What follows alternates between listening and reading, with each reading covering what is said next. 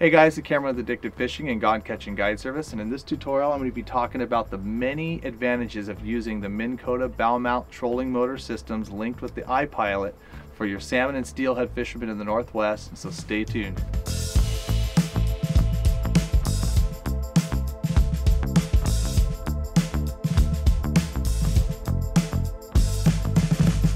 Little fresh buckaroo there, bud. Nice fish. Alright guys, so over the last couple of years of using the Minn Kota bow mount system, I have identified four different areas that I really have been able to take my salmon and steelhead angling to another level with the boat control that this trolling motor provides. So one of the best technologies used with these bow mount trolling motors is the spot lock system. That spot lock system allows me, even in current, to be able to hit one button, have the GPS unit that's located in the head of the motor hold me into that spot the prop will spin 360 degrees and the motor will do everything that I can to hold me in that location where I told it to. And what that provides is an anchoring spot or a platform that where the boat's gonna stay still, it's gonna stay quiet, and I can cast at fish or I can do whatever. This works great for casting wigglers, for twitching, or even bobber fishing off the side of a run whether I'm targeting salmon or steelhead. The spot lock system is the most silent, quickest way to anchor your boat and hold your boat steady and it also adds a whole element of stealth that when you're moving down the run and you want to just quickly hold yourself a spot because you've identified a location where there could be some salmon or steelhead, you could hit the spot lock, slow the boat, pitch at them, do your thing, and then move on without dropping a clunky anchor or trying to deal with the currents spinning you around. It's an absolute great feature. It's probably one of the most important features that I use on the system. And within that spot lock system, guys, there's a feature called jog. And what that does is once I've dropped my motor and I've been sitting in my location where I have the motor and the boat spot locked, I can adjust in five foot increments whether I want the boat to be moved forward, to the side, or back by just using some of my dials on my iPilot system here. Why is that important? Well, if I'm anchored, or excuse me, if I'm spot locked in a location and the fish have moved down or I want to be a little tighter this way or a little more in the seam line this way, all I have to do is hit a button just like my right side button here and it'll move me to the right five feet. The boat knows and understands its orientations from the Humminbird compass. So just by hitting the plus sign, the boat will creep forward five feet. If I hit it to the right twice, it'll move to the right 10 feet.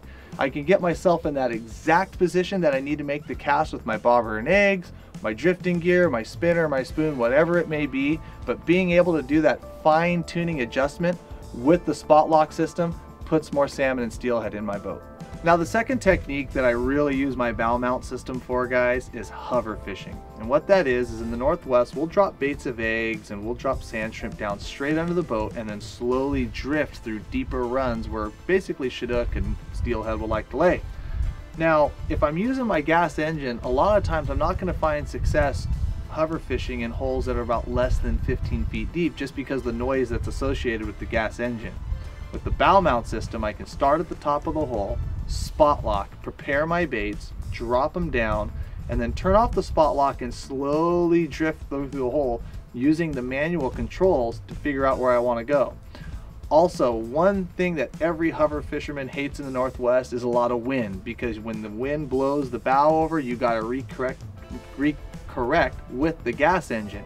With the bow mount, I don't have to do any of that. I've got way more control hover fishing with the bow mount than I'll ever get out of a gas engine on the transom of my boat. Now the third instance where the bow mount system really helps is for all you guys out there that like the side drift or bobber dog baits going down the river. Now, you cast out your presentation and it's generally drifting the same speed as the boat. However, in real windy conditions or real kind of awkward currents, the bow, the bow of the boat loves to shift over one way or another and you got to correct with the transom. All you got to do with your bow mount system is as you're drifting down, once that bow starts to break free and instead of recorrecting it with your kicker engine, you hit the spot lock button. And even if the current is faster than what the, the bow mount can keep up with, it will still pin you back straight in the current and then you can shut it off and let it slide down. What I find myself doing is going at the top of the run, starting to drift, and if the boat starts to carry, I'll hit the button real quick. The motor will, I try to identify to try to identify that spot that it wants to bring the bow back to, and what it'll do is it'll snap the boat back forward in the current and allow you to continue your drift as straight as you can get. All right guys, the fourth technique that I use my bow mount a lot is trolling. Obviously just trolling forward, but there's applications where when I use this versus my kicker, I find that I catch more fish. And a lot of times I find that in the lower stretches of these rivers, like in the tidal areas, the shallower flats that I'm trying to troll 360s or I'm trying to troll little wiggle warts or plugs or whatever it is. Just the stealth and the maneuverability that I get from my bow mount over a kicker engine when I'm trying to maneuver around stumps or trying to stay in that perfect little slot lane, it just cannot be beat.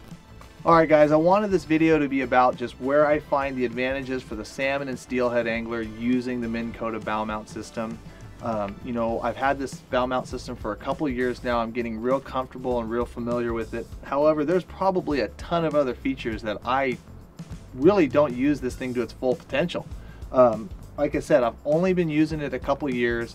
There's another couple features like you have a true north button where basically if you're trolling with the engine, you can hit the button and it will keep you on that exact direct line. I actually use that a lot within my kokanee fishing, but there's applications where you're gonna use that for salmon as well. All right guys, now that I've talked about those four techniques that I use the Minn Kota bow mount system to my advantage, I'm actually gonna go out here and try to show you guys exactly what I'm talking about in this run right here. All right guys, so we're gonna talk about spot lock real quick. Obviously I've got a pretty good current here, but by just pressing the spot lock button on my motor, the motor is going to remember where that GPS point was where I pinned it and it's going to try to hold me right there in the current giving me an opportunity to cast or do whatever I need to do in any of these runs. Alright guys, the other feature when I was talking about straightening yourself out in the current, so what I've done here is I've positioned my boat 90 degrees um, against the current on where I really want to be. I got my line going that way, but my boat's kind of out of control. It's a lot of wind, or I'm starting to learn and just starting to figure out this driving thing. I can hit my spot lock and what will happen is you can see the motor behind me is identifying where that spot was and watch it's going to center it out right into the current let her go it's whipping the boat around and pretty much once I get the nose straight I can turn it off like I just did and now I'm right back to fishing square to where my gear's at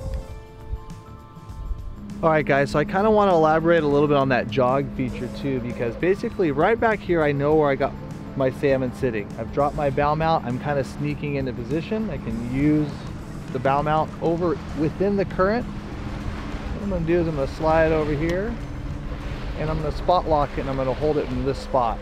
I can take my cast, I can do whatever I need to do, but let's just say that I'm a little bit farther off than where I exactly want to be. I'm gonna let this guy center up here real quick, which it just did. So now it's holding me completely still in the current.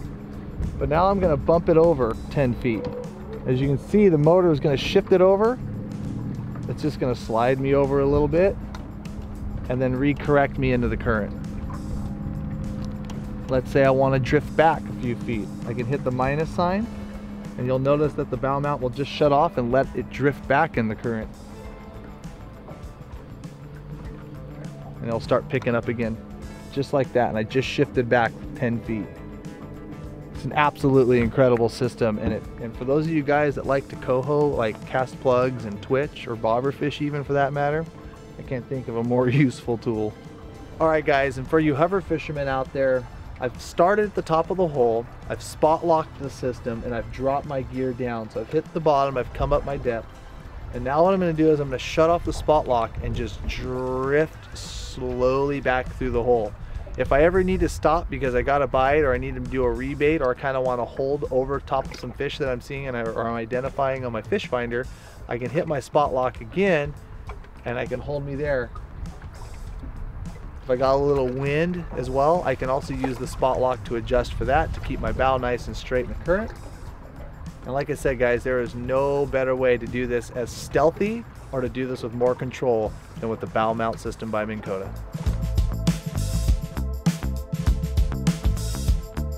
If you guys have found any other advantage of using the bow mount system when it comes to salmon and steelhead, give us a comment down below because I'd love to kind of like try it myself, let's be honest. But maybe we can do another couple tutorials kind of explaining that because this technology getting into the Northwest, you know, we're always a little bit behind everybody else, but let's be honest, like using this stuff, it's, it's, it's almost like cheating, guys. I really stress, get an opportunity to go out with somebody that's got one of these bow mount systems by Minn Kota and it'll blow your mind. If you guys like what you see here, as always, give us a subscribe, comment below with any of those other techniques that you got. We'll see you guys on the water.